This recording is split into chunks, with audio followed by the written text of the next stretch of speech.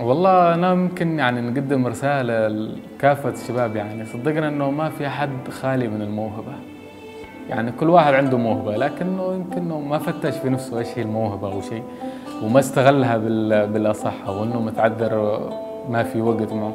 لكن كل شخص عنده موهبة في مجال معين. أنا ما أتكلم عن الموسيقى خصوصا أتكلم عن كل المواهب. آه، بس إنه ما استغلها أو إنه ما فكر في إيش اللي يحبه. أي حاجة أنت تحبها فكافح عنها. امشي في طريقها وحاول وبتوصل لها يعني بعد جهد طال زمن وقصر اسعي فيها وبتوصل لها بقدر الإمكان. اسمي علاء انور غلام من أهل المكلا. آه، طالب جامعي. تخرجت يمكن في 2015 حاليا أعمل على صناعة العود الاله الموسيقيه الشرقية القديمة هي من أقدم الآلات الموسيقية العربية. فمن والدي يعني ومن جدي بالأصح جدي عازف آلة هرموني آه، أيضا والدي آه، عازف آلة العود هواية يعني ماخذها آه، طبعا وعلمنا من صغري يعني العزف على آلة العود يمكن حوالي عمري 12 سنة. فأخوي الأكبر الله يرحمه ويغفر له.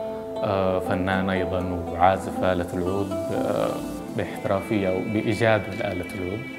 فتعلقي بآلة العود من أول يعني من يوم أنا صغير فالموضوع ده أثر فوقي من زمان يعني يعني يوم ما فتحت على الدنيا وما نشوف العود كده جنبي. وتعلمت على العود في العزف يعني من حوالي حسب ما ذكرت إنه يمكن عمري 12 سنة. ليد والدي علمنا أساسيات العزف وكذا فتركته فترة طويلة انشغلت بالدراسة وصوت العود موجود في البيت يعني على يد أخوي الله يرحمه بين يوم ويوم ولحظة ولحظة أسمعه في البيت. فكملت الدراسة بعدها بس توفى أخوي الله يرحمه يمكن قبل أربع سنوات خمس سنوات. توفي أخوي وشفت العود يعني حزين كده في البيت ما عاد نسمع صوت العود نهائيا في البيت. فالشيء برضه دافع يعني اتجهت للعود عدت عشان أرجع صوت العود في البيت وأيضا أتعلم أكثر من والدي وكذا. فالحمد لله يعني أضيف نقطة أن والدي أيضا عازف آلة العود وأيضا هو هاوي طبعا لآلة العود عزفا وله المجال الأكثر أنه فنان تشكيلي يعني.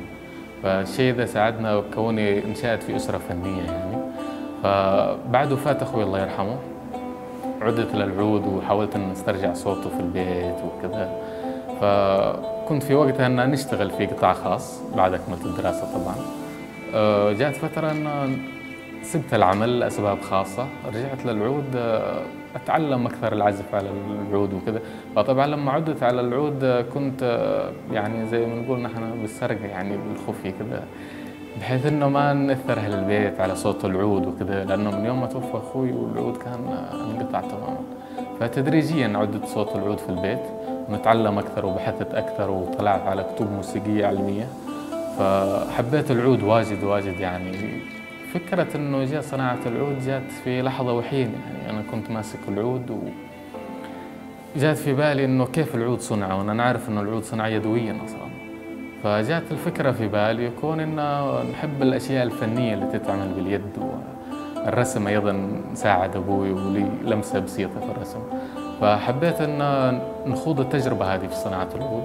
عملت خطة كبيرة ودراسة وخططت يعني مدة أشهر فترة زمنية. يعني كيف إن يعني درست الخطة هذه كيف إن نعمل العود فشيء مش بسيط أصلا. هي آلة موسيقية فتتكون من مقاسات معينة مبنية على أساس وكذا.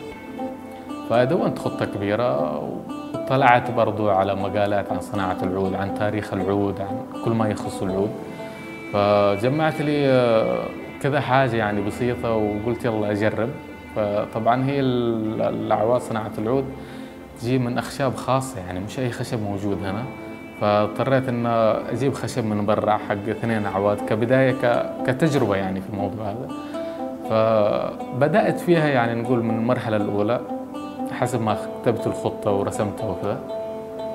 بدأت فيها صارت صعبة شوية يعني ما كنت متوقع إنها صعبة لكن التنفيذ يكون أصعب من الكتابة يعني. فخذوا التجربة وفشلت فشلت فشلت كثير يعني كثير. لكن حبا وإصرار داخلي حتى أن لدرجة أن أصحابي أو أي حد ما قلت لهم أن نصنع عود ليش؟ لأنه ممكن بيعطونا كلام سلبي أو بيقولوا له من من إصرارك من تحفيزك. فأخفيت الأمر تماما يعني ما خرج من البيت أن نصنع عود فخذوا التجربة وفشلت فشلت أكثر من مرة. لكن إصرار وطموح إنه بسويه بسويه يعني بعد جهد طويل جدا. فانتجت أول عود أول عود كان يعني فرحة كبيرة بالنسبة لي يعني شيء كبير يعني شيء عظيم.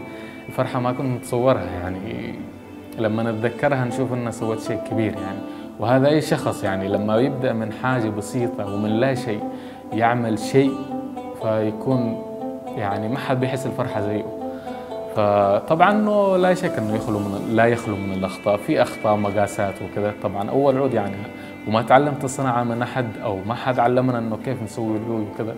لكن اصرار وجهد وتتبعت الموضوع أكثر وأكثر. فتوصلت إلى أن عملت أول عود في أخطاء. أول عود طبعا محتفظ به إلى الآن يعني. آه عملت بعد العود الثاني برضه في أخطاء لكن الثالثة وقفت شوية. حاولت إن نعرف فين الخطأ أكثر. فاكتشفت انه ممكن إنه الطريقة هذه تكون مقاسات خطأ. العود الأول حوالي شهرين يمكن. شهرين كاملة لأنه أول مرة أصنع عود وما كنت يعني متعامل بالخشب من قبل. يعني ما أنا نجار ولا تعاملت بالخشب من قبل.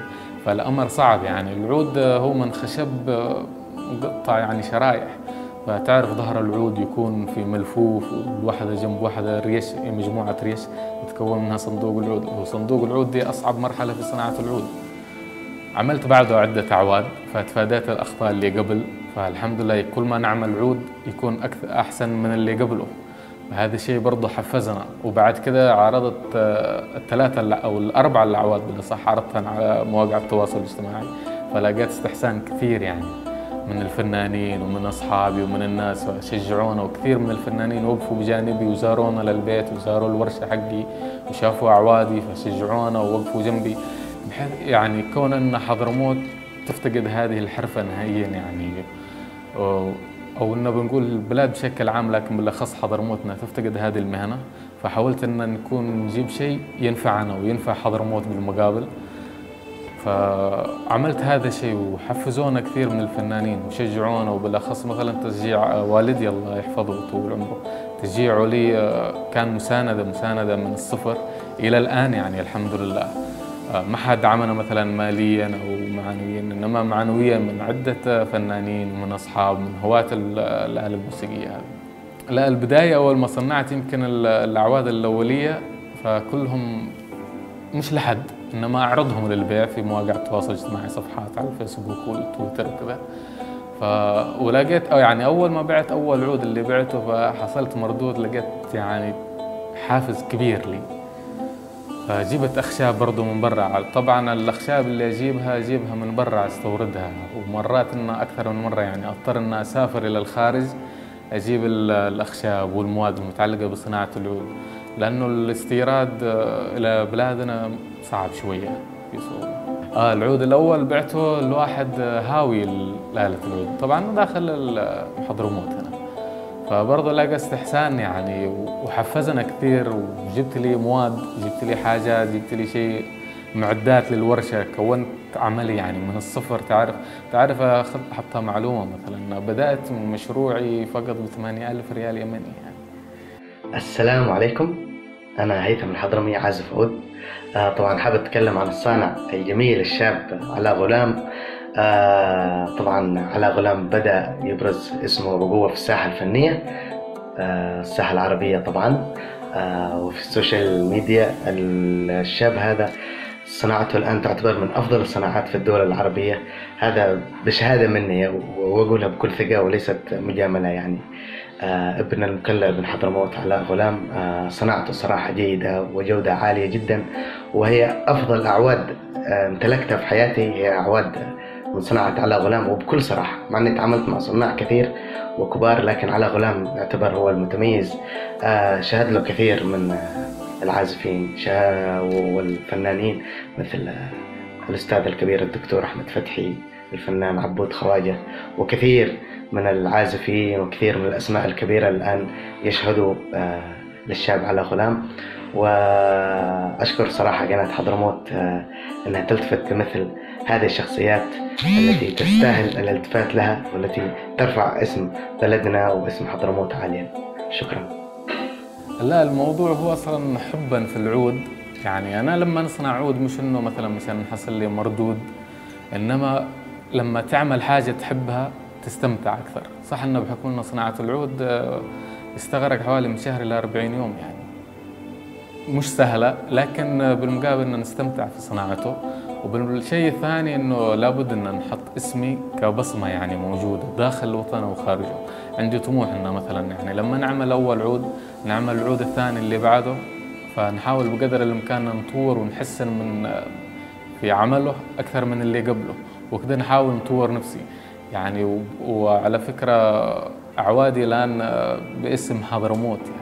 لأول مرة أصبح الحضر حضرموت نصيب في صناعة العود فهي تحت مسمى أعواد حضرموت فالآن أصبح لها شهرة كبيرة اعوادي الان وصلت إلى الخارج في عدة دول بالخارج بالخليج في مصر وصلت إلى أوروبا برضه في فنانين كبار يعني امتلكوا أعواد من صناعتي والحمد لله يعني كلهم أثنوا علي وشهادات وجلست أنا وفنانين كبار من الخارج وفي الخارج.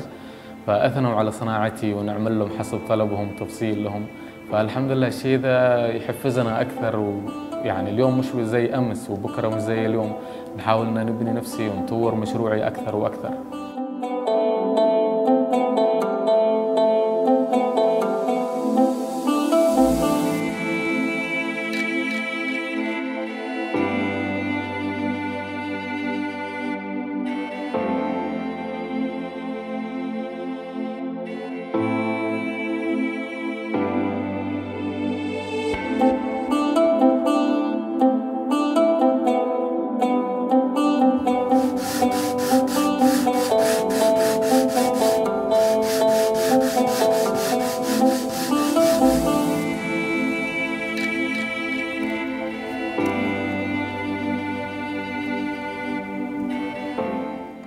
عمل العود هو من أول حاجة نعمل الظهر حق العود اللي هو تتكون من مجموعة ريش أو اضلع أضلاع يسمونها بمقاس معين فيتم معالجتها طيها وحفها وكذا.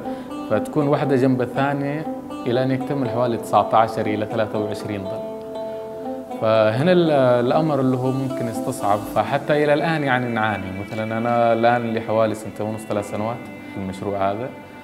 فإلى الآن برضو لابد إنه في شيء يحصل لك آه، يعارض أو يعكر مزاجك زي ما يقول فمثلا موضوع الريش ممكن إنه في واحدة ما تقبل تكون زي أختها يعني ما تجي إما إنه باللفة أو إنه بالحف حقها. فمرات حتى إنه نتنرفز أسيب الشغل يعني سيبه ساعتين وكذا لأنه في أعصاب. الشغل ده يبغى تركيز وما يبغى شيء فاضي عندك ولا شيء تركيز وهدوء. فمرات إنه في شيء عاكس يعني بالشغل. ينفذ الصبر فنضيق من الشغل نخليه ونروح لي ساعتين ساعة نص ساعة. فنهدأ شوية. حتى مرات إنه في البداية أول ما بدأت أول عود فحسيت إنه الموضوع صعب ما بقدر نوصل له. حتى لدرجة إنه نكسر الضلع يعني من من شدة إنه ما ضبط معي. فهملك يعني الصبر ونبطل في الشغل يعني نكسر حتى الميز وكذا ننزل نقول بطل نجلس نص ساعة يعني حوالي و بس طموح طموح لا زال في القلب يعني نرجع نقول أجيبك أجيبك يعني.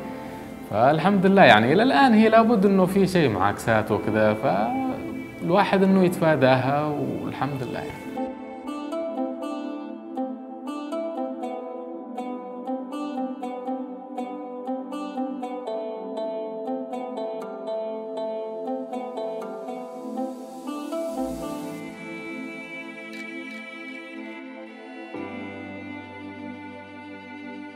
طبعا حاليا أعوادي الحمد لله في مستوى درجات عالية يعني ننافس صناع كبار يعني. فالبعض إنه لما يشوف العود هذا صنع في حضرموت يقول لك لا مش معقول يعني. والبعض الآخر يعني لما يشوفنا يشوف عملي ويشوف أعوادي من فنانين وكذا فيثنوا علي بشكل كبير يعني. وهذا اللي محتاجه من الكل يحفزنا وهذا يطور برضه من شغلي. وعندي طموح برضه إن نوسع مكان عملي وندخل في آلات ثانية يعني عندي استعداد أن نصنع الكمنجة والقانون لكن هذا يكون بعد ترتيبات.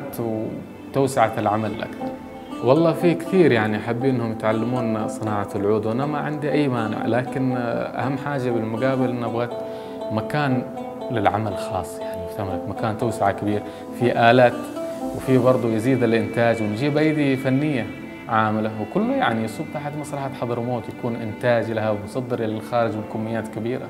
يعني الآن زي ما قلت لك إنه العود حوالي من شهر إلى 40 يوم فهذا ممكن يكون الإنتاج ضعيف شوي.